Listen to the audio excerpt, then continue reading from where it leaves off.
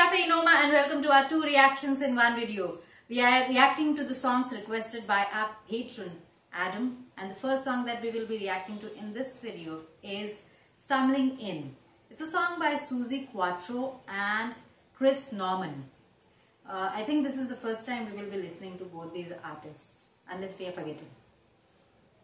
Yeah, it's uh, the month of December, the final month of the year. It's a month of Christmas.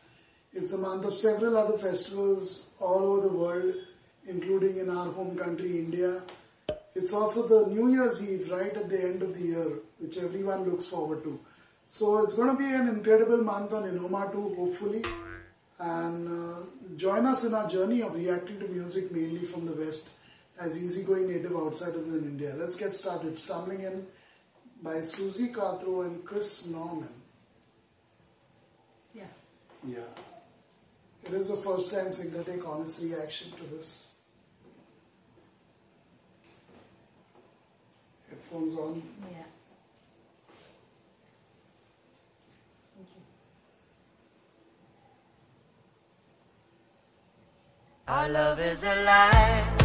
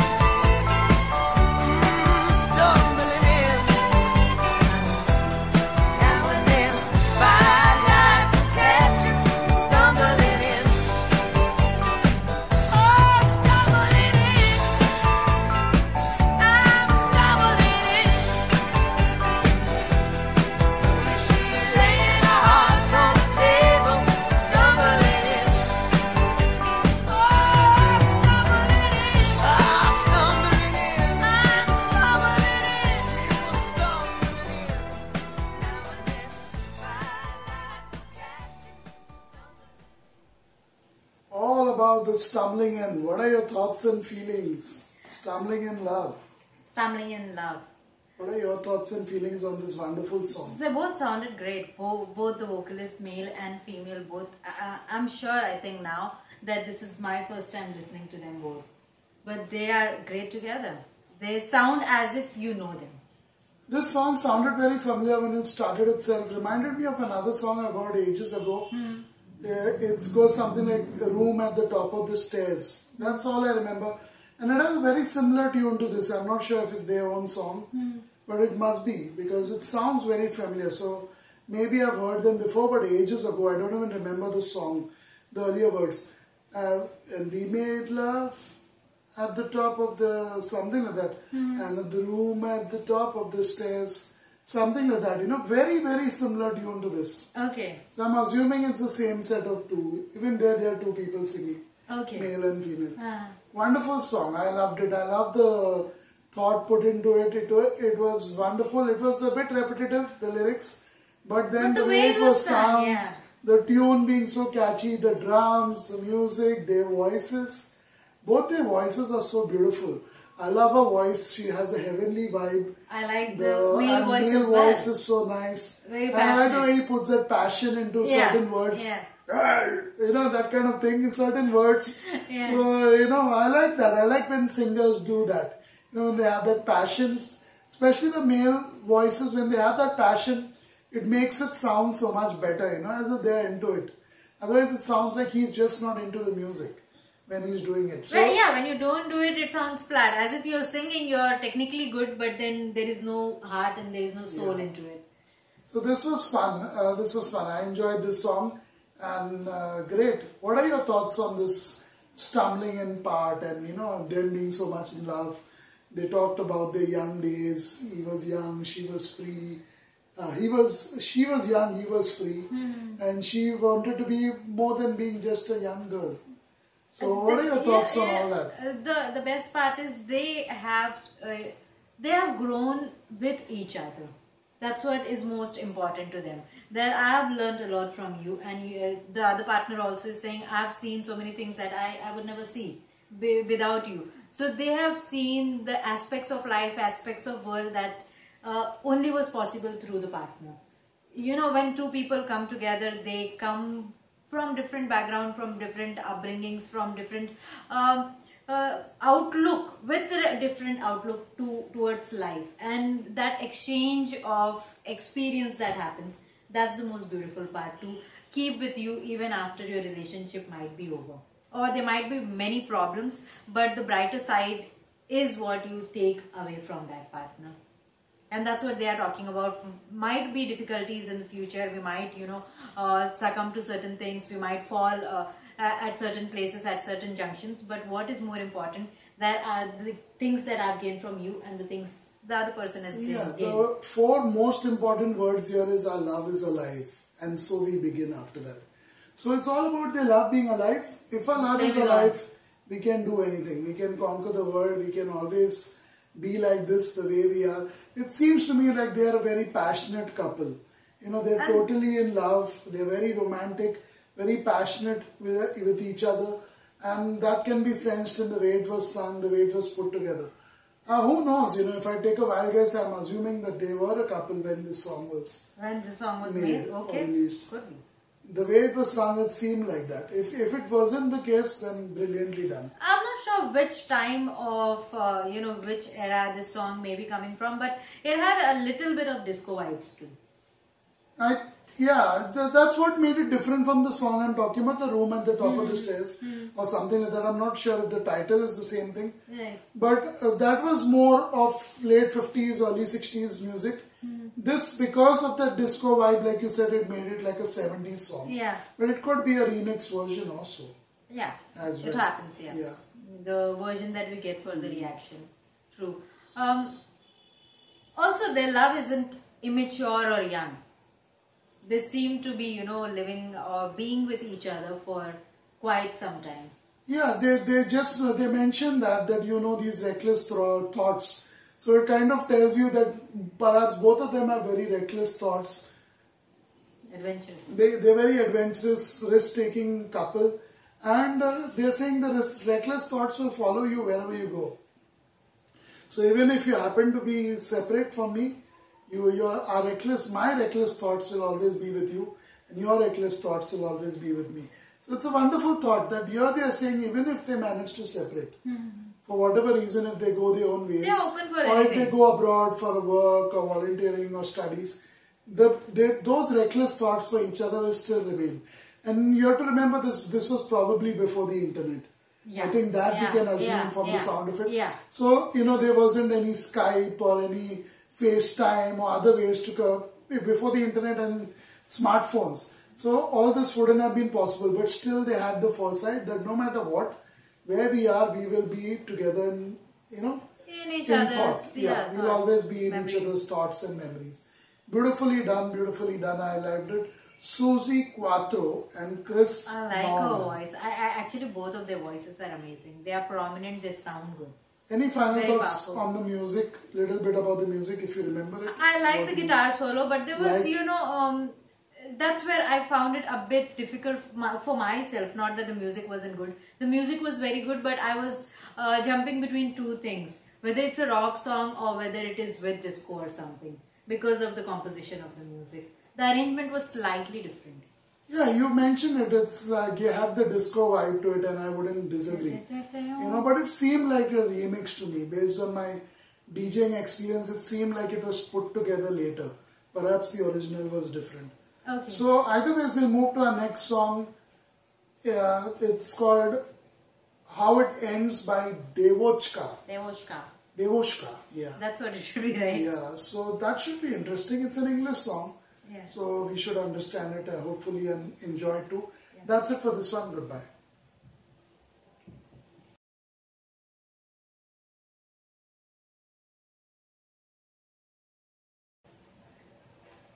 Namaste YouTube, welcome back to Enoma and welcome to our reaction to Devoshka, How It Ends.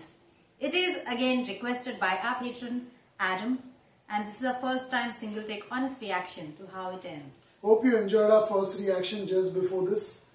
Uh, and now let's move on to this one. It's a first time single take honest reaction. Let's get started. Devoshka, how it ends.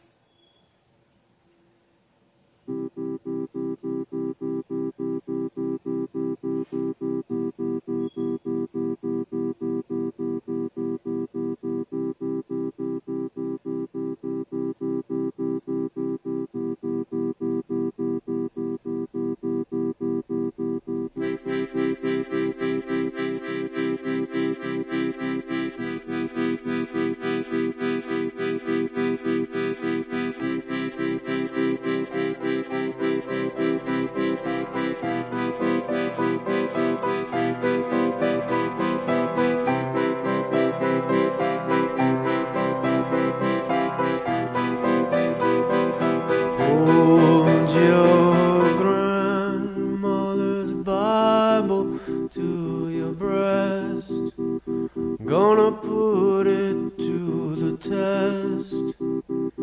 You wanted it to be blessed. And in your heart, you know it to be true. You know what you gotta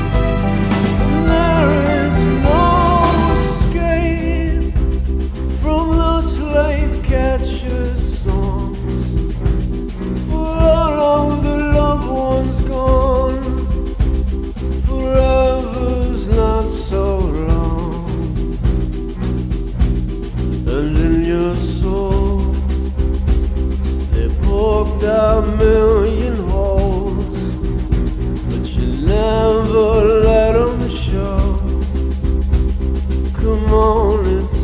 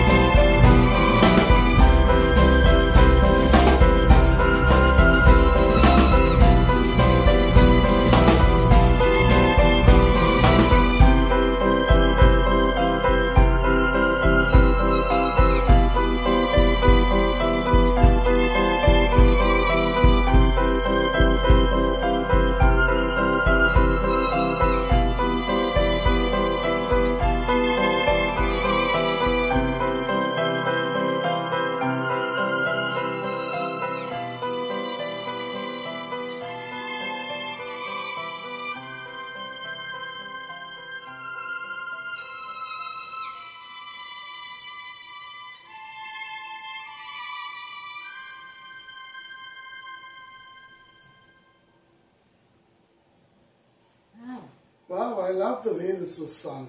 He really has a good voice, very, very good voice. And he sung it so soulfully, with so much, uh, you know, it sounded sad. Yeah, The way it was sung, yeah. it was very sad. He was totally into it. I love his voice. And the music was pretty good too. Especially towards the end when the violin kicked yeah. in. Wow, this was brilliant. The song was beautiful, very easy on the ears, relaxing, sad at the same time, melancholic, I would say, uh, full of melancholy, and beautifully done. I enjoyed it. The lyrics are very dark, intense, and we'll talk about it in a bit. Yeah. Kirti, your initial thoughts and feelings on this song? When the first time he said you already know, and that range what I heard, I said, wow, this is gonna be a great song. He's got quite, I mean, he, mm, not heard of Devoshka before, but I'm not sure if that's the group name or it's the individual artist name. But he's got a range, he's got a range, and I think he can go higher than that too. If uh, this song was a low one, um, mellow kind of a song which was supposed to be kept lower, I think he must be hitting even higher notes than this because this was more restrained and restrictive. If he is all out, he is all open. I think uh, magic must be happening with his voice because that was amazing. That was powerful. You already know the way he would say that and going so effortlessly high. That was amazing. You hear For it and you know it for is sure. good. Yeah, he's a good singer. This was natural. There was no uh, nothing, no gimmicks at all. you already know how this will end, how love will end right at the end. Right. Uh, what exactly do you think he's talking about? On the first listen, what do you gather from that? I, I couldn't really, you know, put things into perspective because I thought it was supposed to be uh, some slave thing was mentioned. Hmm. Uh, so I thought it was uh, the people who are slaves, and for them things really don't work out no matter what. But I, I'm yet to, you know, go through once more and decide. I don't know if it's about a slave or anything, but I know it seems like someone who's very sad, yeah, in an oppressed state of mind, yeah, uh, yeah. and possibly under the control of many people. right. So this is the result of it, Hmm. and uh, you know your beliefs may not help you right now, whether you believe in God, whether you believe in anything Hmm. or any entity. Perhaps even that may not be enough. The result is already Yeah. clear. Yeah, you, we all know how it will end. So maybe this is person is about to go to the gallows, about to be put to the, you know, under the guillotine, so to speak. Could be, could or maybe put to a test where there's no chance of succeeding. So something like that. But it's Hmm. Yeah. very sad. I, I would It's assume it's something state, yeah. Hmm. where the person is about to die, just about to die. The walking the green mile, the final, Hmm, you know, la- on their throat. Hmm. And this is what it is like. You know, this is what it is about. Wonderfully, I definitely like you. I would like to hear it again to, you know, let it sink in and perhaps understand it better the second or third time listening to it. It a started with, brilliant you know, voice. that lingering ting, ding, ding, ding, ding, ding. I don't know whether that was done on the guitar Yeah, or on a keyboard. Started with breaks, one- like maybe a keyboard or synthesizer. Could be. Started with breaks, and I was wondering if we got the right song or whether it was Yeah. the right version because it started with breaks, and I said, "Oh, don't tell me something is Wrong with wrong with the video that we got." But the way it ended with the uh, violin and the piano coming in, wow, that was mesmerizing. That was Mm-hmm. effective, effective, therapeutic music. This is this is therapeutic music. You listen to it any day, and you will be immersed into the music. It was as simple as that. What what do you, what do you have to say about anything else about this song?